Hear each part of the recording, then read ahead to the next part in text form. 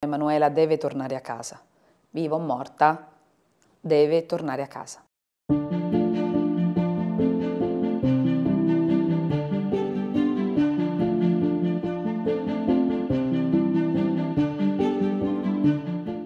Abbiamo appreso dell'apertura delle indagini da notizie di stampa. Al contempo io e Pietro cercavamo conferma l'uno sull'altro per capire se effettivamente questa notizia era vera, quindi l'abbiamo saputo così, eh, a mio avviso sarebbe stato forse più cortese avvisarci prima, però devo dire che voglio dire anche quando aprirono le tombe del Teutonico nel 2019 noi l'abbiamo appreso da un bollettino della Sala Stampa Vaticana. Ma la speranza che questa sia la volta buona c'è sempre, anche perché 40 anni sono la metà della vita media di ciascun individuo, è un tempo infinito.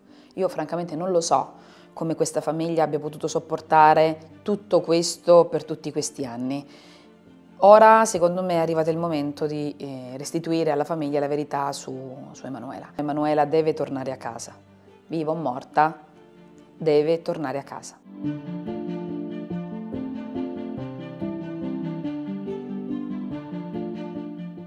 Siamo stati certamente contenti, la notizia è stata accolta con, evidentemente con favore perché l'apertura de, dell'indagine vuol dire comunque eh, che c'è un'oggettiva volontà di ricercare la verità, o quantomeno così dovrebbe essere. Quindi è stata presa con, sicuramente con un effetto oh, positivo, eh, però anche con, con, tutta una serie di domande che ci siamo posti nell'imminenza. La domanda che ci siamo fatti tutti è ma su che cosa stanno indagando? Noi abbiamo letto sempre negli organi di stampa che stavano indagando su istanze della famiglia, ma io l'ultima istanza che ho presentato è stata un anno fa. E, e se è quella di un anno fa, perché apri un'indagine un anno dopo? E perché lo fai adesso? È un caso dalla morte, da qualche giorno della morte di Papa Benedetto? Ha a che fare con le rivelazioni nel suo libro di eh, Monsignor Gasvein?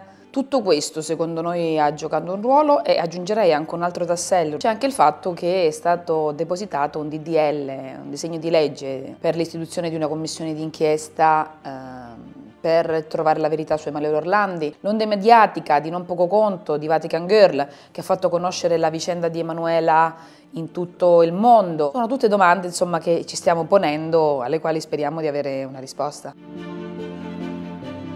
Saranno riviste tutte le piste, analizzate da chi? Dalla Procura di Roma?